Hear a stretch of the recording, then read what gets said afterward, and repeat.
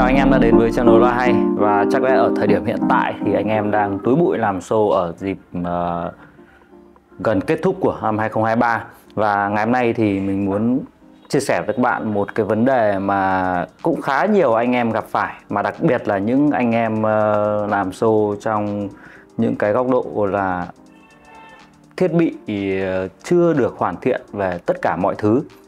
Uh, ý mình muốn nói ở đây là anh em phải sử dụng hai loại sulfur khác nhau chẳng hạn.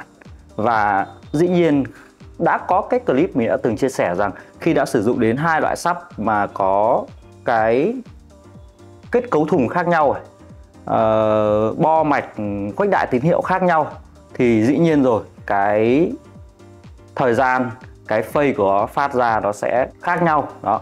Và khi mà anh em đã sử dụng từ hai hệ thống sắp khác nhau như vậy thì bắt buộc là anh em sẽ phải làm phây cho hai chiếc loa subwoofer đó. Và ngày hôm nay thì mình đang chuẩn bị một hệ thống ở ngoài kia với một cái không gian là ở ngoài đường à, có tạp âm giống như một cái môi trường mà anh em đi làm show. Và mình với các bạn hãy cùng nhau thực hiện tuning giữa hai chiếc loa sắp uh, khác nhau về tất cả mọi mặt kết cấu rồi uh, bo mạch tất cả mọi thứ. Xem chúng ta sẽ phải làm gì với nó nhá. Và bây giờ anh em hãy cùng ra ngoài cái vị trí mà đang được setup loa và microphone. Các bạn hãy cùng xem xem ngày hôm nay mình sẽ đặt microphone ra sao. Và video này thì mình sẽ chỉ sử dụng một microphone nhé để xử lý cái hệ thống sắp đó. Cái mục đích muốn gửi tới các bạn là dễ dàng xử lý nhất và hệ thống gọn gàng nhất nhé. Như anh em có thể thấy ở đây thì hiện tại mình đang chuẩn bị hai chiếc loa subwoofer, một chiếc Nexo LS18 và một chiếc Sony Vega S118 và hai chiếc loa này thì nó sẽ có kết cấu thùng hoàn toàn khác nhau. Chiếc loa này sẽ là ờ, active và chiếc loa này sẽ là passive sử dụng preset ở tại trong Menexo và driver của loa thì được đặt phẳng. Còn driver của loa LS18 này thì nó sẽ nằm như thế này anh em nhé. Đó, và cái đặc tính lỗ thoát âm của nó cũng khác nhau hoàn toàn thế nên là bây giờ khi mà xếp cùng nhau này thì chắc chắn là cái phây của nó sẽ không thể nào mà đồng bộ nếu như anh em không không xử lý. Đặc biệt là còn về cái vấn đề tín hiệu khuếch đại cho nó nữa. Và bây giờ thì mình sẽ sử dụng hai chiếc loa sắp này. Và vị trí đặt miro để tuning hai chiếc loa sắp đơn giản như này thì anh em hãy chọn cái vị trí cách cái loa khoảng 3,4 mét. Và cái mic sẽ nằm giữa của cả hai loa nhé để làm sao anh em có thể lấy phây của loa Servin Vega đúng nhất và Servin ờ, hay là phây của loa Nexo đúng nhất. Và đây là cái vị trí mình sẽ đặt mic để tuning với những cái hệ thống loa subwoofer mà nó không giống nhau như vậy. Và bây giờ anh em hãy cùng mình đi vào với uh, phần mềm và chúng ta hãy cùng xem xem hai chiếc loa sắp này nó khác nhau ra sao và phải làm gì với nó thì nó sẽ đồng bộ được với nhau nhá rồi à, với cái vị trí đặt microphone và subwoofer được thiết kế như vậy thì bây giờ đơn thuần mình sẽ sử dụng ờ, phần mềm Smart và anh em hãy cùng nhau kiểm nghiệm xem chúng ta sẽ phải làm gì với hai chiếc sắp, một chiếc sắp Nexo NS18 và một chiếc sắp Sorin Vega S118 như vậy. Rồi, đầu tiên thì bây giờ mình sẽ phải pin delay của cả hai chiếc sắp và xác định xem rằng chiếc sắp nào sẽ phải là chiếc sắp làm gốc và chúng ta sẽ phải delay hệ thống ờ, sub Lexo hay là sub Twin Vega nhá. Rồi, uh, đầu tiên mình sẽ on chiếc sub Lexo. Ok và mình sẽ lựa chọn cái tần số fin delay uh, làm software ở đây sẽ là 63 Hz nhé. Rồi, fin delay. Insert. Rồi. Ừ.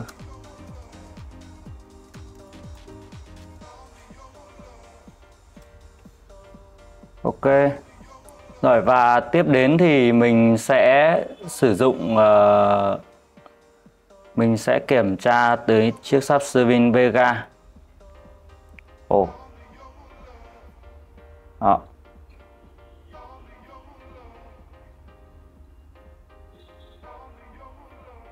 Anh em có anh em có thể thấy mình sẽ đổi màu để anh em có thể theo dõi cái tín hiệu này được rõ ràng hơn.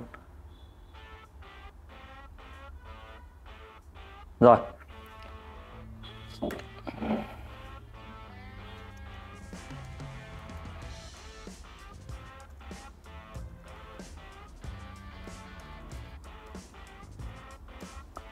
Đó. Đây là hai hình ảnh của subwoofer mà mình nhận được. Một chiếc uh, sub LS18 và chiếc sub của Swingeva 1 S118 thì mọi người có thể thấy này cùng một cái điểm phi delay của sub Nexo LS18 thì các bạn có thể thấy là bây giờ như này cả cái chiếc sub Servin Vega của mình đang nhanh hơn rất nhiều so với chiếc sub LS18 à, mọi người có thể thấy ở đây hiện tại là cái sub ừ, điểm 63 hạt pin delay là 41.65 ms giây bây giờ mình sẽ thử pin delay của chiếc Servin Vega xem ở tại điểm đó xem là ra bao nhiêu ms giây nhá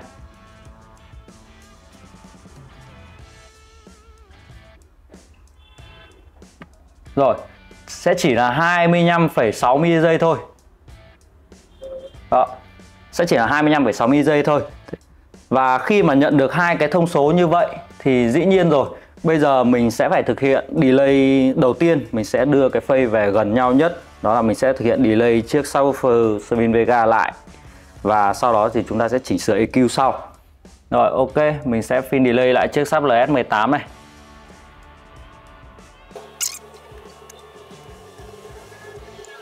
Rồi, và on chiếc sub Swin Vega.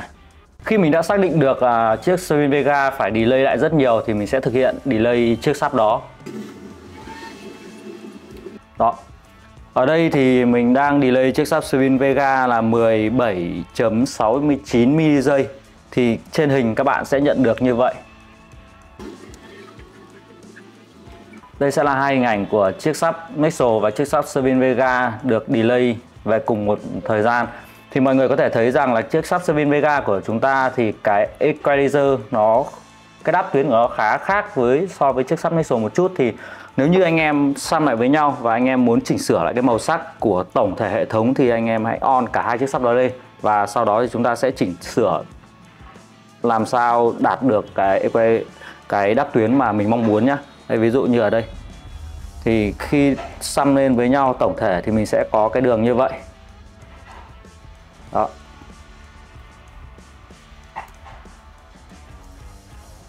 Xăm.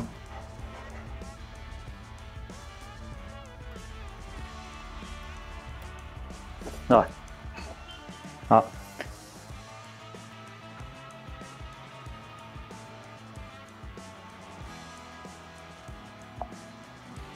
Rồi, rất là đơn giản thôi khi mà anh em nhìn thấy rằng uh, mình uh, chỉ thực hiện delay chiếc sub Swing Vega lại trùng phây với nhau thì cái đường màu trắng này sẽ là đường cộng hưởng toàn bộ của hai chiếc sub của mình.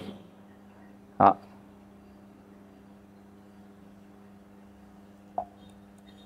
Rồi, nó sẽ cộng hưởng khoảng 6 dB. Và bây giờ thì mình sẽ thử off cái delay để anh em có thể trải nghiệm được xem rằng khi mà hai chiếc sắp như vậy, chúng ta đặt cùng nhau như thế mà chúng ta không xử lý vấn đề phây của nó, thì cái tín hiệu của chúng ta nhận được sẽ ra sao nhé rồi. Đường màu trắng sẽ vẫn là đường xăm nhé rồi, và bây giờ mình sẽ on lại hai chiếc sắp và thực hiện bỏ delay ờ, của sắp Vega như chưa làm gì với chiếc sắp đó. Đó thì đây, anh em có thể thấy cái đường màu xanh sẽ là đường mà chúng ta nhận được khi mà các bạn xếp hai chiếc loa sắp ở hai thương hiệu khác nhau, kết cấu thùng khác nhau và có cái tín hiệu khuếch đại khác nhau thì là các bạn sẽ nhận được tín hiệu xấu như vậy. Và dĩ nhiên rồi, chúng ta sẽ giảm áp lực hệ thống đi rất là nhiều và bên cạnh đấy thì hệ thống loa subwoofer sẽ không còn được gọn gàng nữa.